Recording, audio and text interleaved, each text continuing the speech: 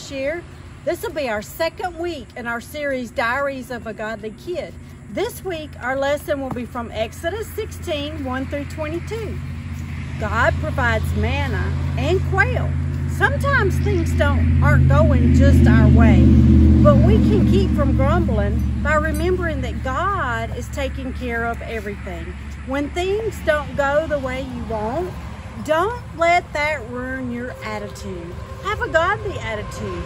Be thankful and wait in the hope for the Lord to do even greater things. Let's pray. Dear God, thank you for all you have done for us. Help us to remember our blessings as we have a good attitude. Stay tuned for our skit and a message from Captain Cam. Dear Diary, today I had quail for the first time. Also today, I had a new kind of bread. It's called manna, and it doesn't come from grain. It comes from the sky. Does it taste good? It's not bad. It's actually kind of sweet. It could use some butter though, but hey, it's better than nothing, right? You may remember that a few days ago, we crossed the Red Sea from Egypt, and we gathered up a bunch of fish there. My mom said we could eat the fish until we got to the promised land, but wouldn't you know it, we ran out of fish pretty quick. In fact, everyone was running out of food. We were in the middle of the desert with no crops around us and no water that we could see. Everyone was starting to complain, including me. What's the matter, Georgie? I'm hungry, Mom. There's no meat, no bread, no fruit, no food of any kind. That's not true. I still have a few nuts if you want some. I don't want nuts, Mom. I want bread. I want meat. We'll find some food. Where? How? I don't know, but I trust in God. I don't know, Mom. I kind of agree with the people I heard earlier. They said we were better off in Egypt. Georgie, don't say that. We were slaves in Egypt. Never forget that. Out here, we're free. What's the point of being free if we're just going to starve to death? If God can get us out of slavery, then God can give us some food. Let's remember the blessings God has given us and have an attitude of thankfulness while we wait for his provision. And you know what? God did provide. People of Israel, God has heard your cries, and he's sending you bread from heaven and quail every day. So we got our meat, we got our bread, and I learned a valuable lesson. Instead of complaining about everything, we need to have a positive attitude.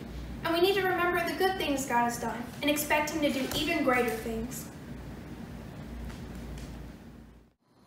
Hey everybody, uh, hope y'all had a good week so far and welcome to this week's Bible lesson and we're going to continue talking about the diary of a godly kid and hopefully what we learned today is the importance of a good attitude. So just want to read this intro here and it says, in Diary of a Wimpy Kid, the narrator and hero Greg talks a lot about the problems that come with being a kid. He doesn't just talk about it, he complains about it a lot. Truthfully, Greg does have a lot to complain about. He struggles to fit in with school. He deals with tough classmates, including a girl who bullies him around, and he has endless trouble from his big brother Roderick. Greg complains about a lot of things in the book. Truthfully, we complain a lot too, don't we? We all complain when things don't go our way. We complain when food we don't like appears on the dinner table. We complain when things are not fair at school. We complain about anything and everything that doesn't go our way. But do we really have things to complain about? Let's take Greg as an example. Sure, he has struggles at home and at school, but Greg has a family that loves him and friends who accept him for who he is. Even his brother Roderick isn't a complete pain in the neck. He can be kind to Greg when he really wants to be. The Israelites found an awful lot to complain about as well. As they traveled through the wilderness to the promised land, they started, started to complain about everything. There's no water. There's no food. My feet hurt. When are we going to get there? Maybe we were better off in Egypt. Hard to believe, but the Israelites actually said that they would rather be slaves. They wished they could go back to Egypt where they had been mistreated. Moses hears their complaints, and so did God. So, what did God do? Something amazing to remind them and us that we need to change our bad attitude. The story comes from Exodus chapter 16, and we're going to read from verse 1 to verse 23. It says, Then the whole community of Israel set out from Elim and journeyed into the wilderness of Sin between Elim and Mount Sinai. They arrived there on the 15th day of the second month, one month after leaving the land of Egypt. There too, the whole community of Israel complained about Moses and Aaron. If only the Lord had killed us back in Egypt, they moaned. There we sat around pots filled with meat and ate all the bread we wanted. But now you have brought us into this wilderness to starve us all to death. Then the Lord said to Moses, Look, I'm going to rain down food from heaven for you. Each day the people can go out and pick up as much food as they need for that day. I will test them in this to see whether or not they will follow my instructions. On the sixth day, they will gather food, and when they prepare it, there will be twice as much as usual. So Moses and Aaron said to all the people of Israel, By evening you will realize it was the Lord who brought you out of the land of Egypt. In the morning you will see the glory of the Lord, because he has heard your complaints, which are against him, not against us. What have we done that you should complain about us? Then Moses added, The Lord will give you meat to eat in the evening, and bread to satisfy you in the morning, for he has heard all your complaints against him. What have we done? Yes, your complaints are against the Lord, not us. Then Moses said to Aaron, Announce this to the entire community of Israel. Present yourselves before the Lord, for he has heard your complaining. And as Aaron spoke to the whole community of Israel, they looked out toward the wilderness. There they could see the awesome glory of the Lord in the cloud. Then the Lord said to Moses, I have heard the Israelites' complaints. Now tell them, in the evening you will have meat to eat and in the morning you will have all the bread you want. Then you will know that I am the Lord your God. That evening, vast numbers of quail flew in and covered the camp. And the next morning, the area around the camp was wet with dew. When the dew evaporated, a flaky substance as fine as frost blanketed the ground. The Israelites were puzzled when they saw it. What is it? They asked each other. They had no idea what it was. And Moses told them, It is the food the Lord has given you to eat. These are the Lord's instructions. Each household should gather as much as it needs, pick up two quarts for each person in your tent. So the people of Israel did as they were told. Some gathered a lot, some only a little. But when they measured it out, everyone had just enough. Those who gathered a lot had nothing left over, and those who gathered only a little had enough. Each family had just what it needed.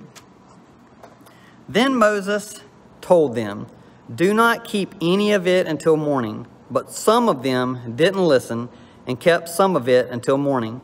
But by then it was full of maggots and had a terrible smell.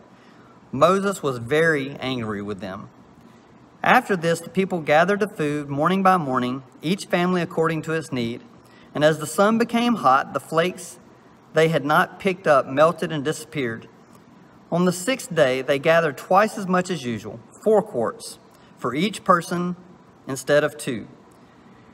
Then all the leaders of the community came and asked Moses for an explanation. He told them, This is what the Lord commanded. Tomorrow will be a day of complete rest, a holy Sabbath day set apart for the Lord. So bake or boil as much as you want today and set aside what is left for tomorrow. So the Israelites, you know, they, they left Egypt um, and they crossed the desert and they came to the Red Sea with the army behind them. God opens up the sea. They pass across on, on dry land. Then the, God closes the sea back up, drowns the people that were following them. And so they're going through the wilderness and it's hot and their feet hurt and all these, you know, they don't have anything to eat. And they start complaining, actually thinking that would be better if they were still in slavery back in Egypt. And so God hears the complaining and he starts providing, you know, what they need. And so he gives them quail in the evening and this bread like substance, you know, in the morning. But they're still complaining. But God brought Israel out of Egypt in slavery, and he set them free. And he was sending them to a new home. And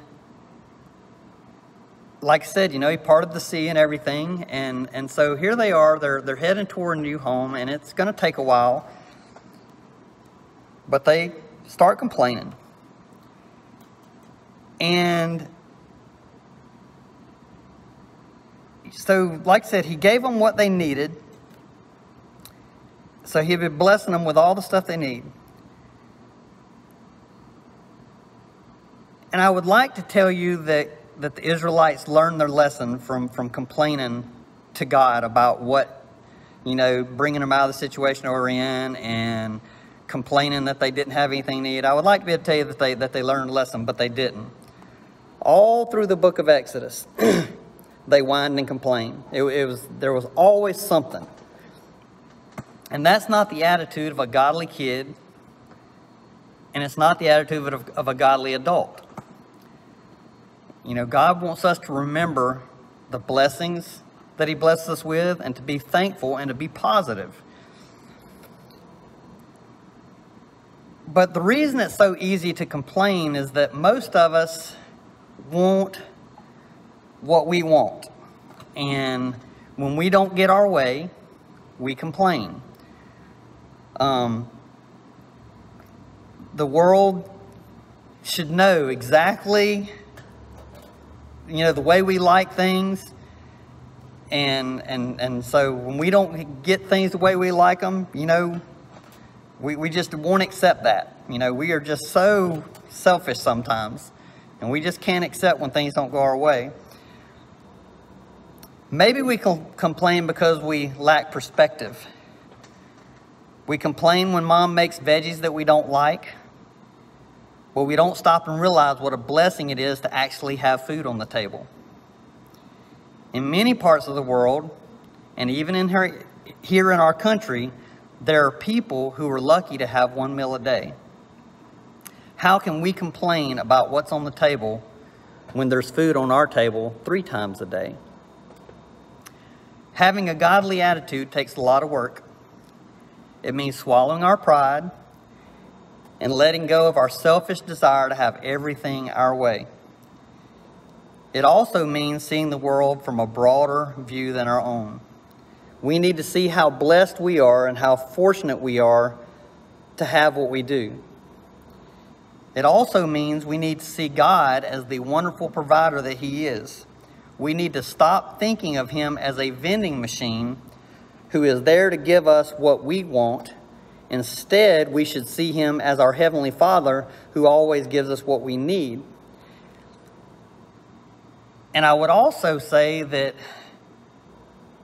we should stop looking at Him as a vending machine who is there to give us what we want and let Him change our wants to match his wants instead of you know always thinking about you know ourselves. We should try to think about you know what does god want? And godly kids don't complain.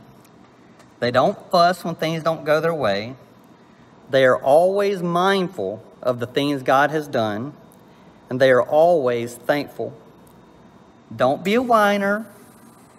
Don't fall into tr- to the trap that kept the Israelites so miserable. Let go of your selfish desires and let God show you all the wonderful things He has done. Be thankful for all God has given you and always keep a godly attitude. I want to throw this in too that one of the reasons that the Israelites had to wander around in the wilderness for 40 years before they finally made it to the promised land was because of their attitude. They didn't trust God. They didn't trust, you know, where he had them. They didn't like where he had them. They didn't wasn't they weren't sure about where he was taking them to. And, and later on, we may learn about, you know, even they even complained once they got to the place where God was taking them. But their suffering lasted longer because of their complaining and because of their bad attitude. So try to remember that too. You know, if if your your bad attitude can cause you to, you know, suffer longer than you need to. If we would just trust God and have faith in, in Him and just let Him take care of us and just be thankful for what He does for us, we'd be a whole lot better off. That's all I got for this week, and see y'all again next week. Bye bye.